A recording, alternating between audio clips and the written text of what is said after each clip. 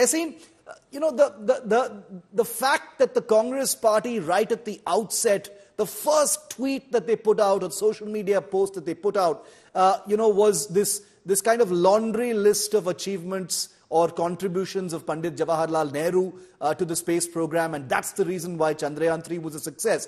And, uh, and just one little disclaimer I personally believe Nehru's contribution to shaping our space program is beyond doubt and should be beyond politics as well. But for that first credit to go to Nehru by the Congress party, it reeks of, uh, you know, being defensive as far as ISRO is concerned.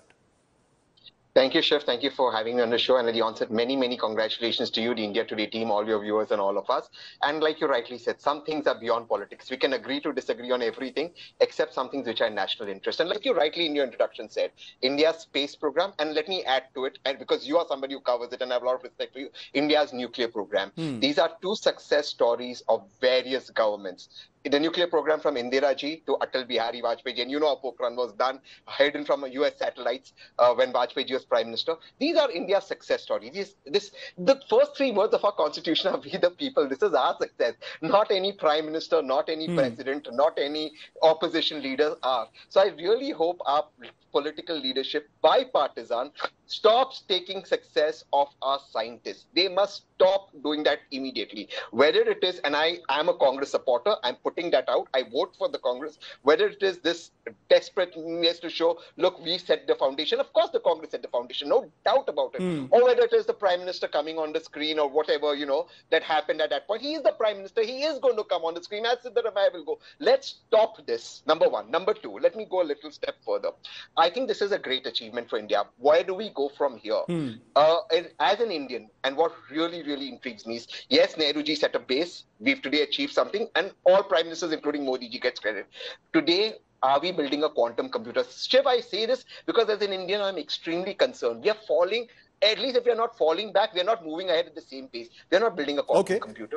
We I'll come, that, I'll come to that point, Tehseen. You're making two points. Let me let, let, let, I'll come back to that point. You're, you you make an extremely important point because the energy spent in the tutu meme over credit, etc., is something that you could easily be spent on doing the next big thing for India. I agree with you. But let's just focus just for a moment on the politics because these are, after all, you know, big parties, big elected representatives saying these things about each other on a day of joy for all Indians. Uh, Niti Jain, what do you have to say about the Congress crediting Nehru for it? Uh, you know, the BJP, I, I notice, has also been attacking the Congress, saying, you know, look at you guys, all you can do is think about Nehru on a day like this and ignore our scientists. They're, they're pointing at you and saying, why did the Prime Minister have to be there on a day like this? Tehseen, I think, very sensibly says, he's the Indian Prime Minister, of course he's going to be there.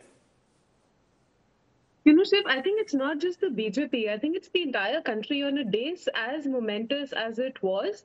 Uh, I think all of us were just celebrating, and it was just the Congress that comes out, okay, congratulations, but it was Nehru. I mm. think hmm. it was on one of your shows uh, a little while earlier where you had spoken about uh, an entire list of initiatives that was simply named after Nehru, and it was quite, it took you quite some time to do that. Yeah, yeah. But this is this is what the congress party has been doing all its while and today they have a problem if a prime minister the head of this country and also the minister who is in charge of the space and technology initiatives in this country has even spoken or addressed the country about such a huge initiative and mm. that is their problem so i think it was just being very petty and a little funny also because this is not as a country, we, we need to celebrate what we have achieved, and it is not a small milestone that we.